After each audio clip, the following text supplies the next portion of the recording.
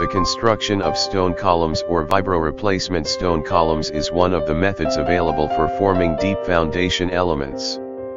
It is a method now being used to increase the load-bearing capacity of shallow foundations on soft clay layers.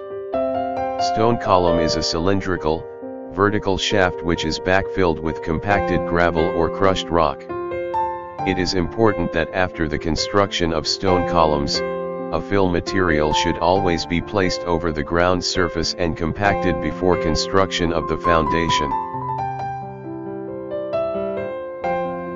The vibroflotation technique can be used to produce a stone column by sinking the device, a probe with a built-in vibrator, backfilling the cavity with stone, and then raising and lowering the vibroflot while adding additional stone. The result is a densely compacted stone column of some depth with a diameter on the order of 0.5 to 0.75 meter. This technique may be used in cohesive soils and primarily intended to provide load-bearing members that extend through the weak soils. The stone column also acts as a vertical drain, thus helping to accelerate consolidation settlements.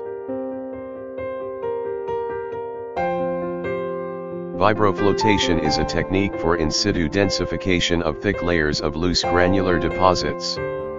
It was developed in Germany in the 1930s and now is frequently used throughout the world. The process involves the use of a vibroflot which is about 2 meters in length.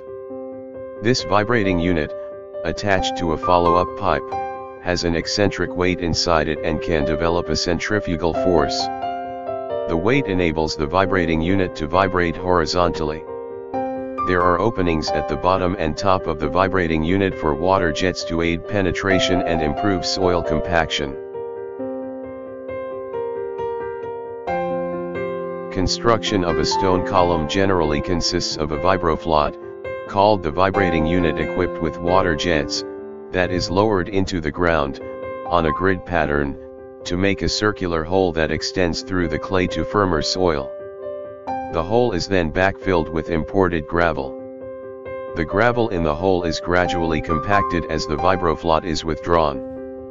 The gravel used for the stone column has sizes ranging from 6 to 40 millimeters.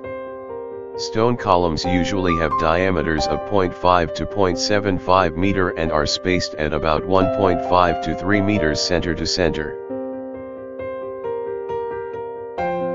The entire compaction process can be divided as follows. The jets at the bottom of the vibroflot is turned on, and the vibroflot is inserted into the ground. The water jet creates a quicksand condition in the soil, which allows the vibrating unit to sink. Granular material is poured into the top of the hole, the water from the lower jet is transferred to the jet at the top of the vibrating unit, this water carries the granular material down the hole.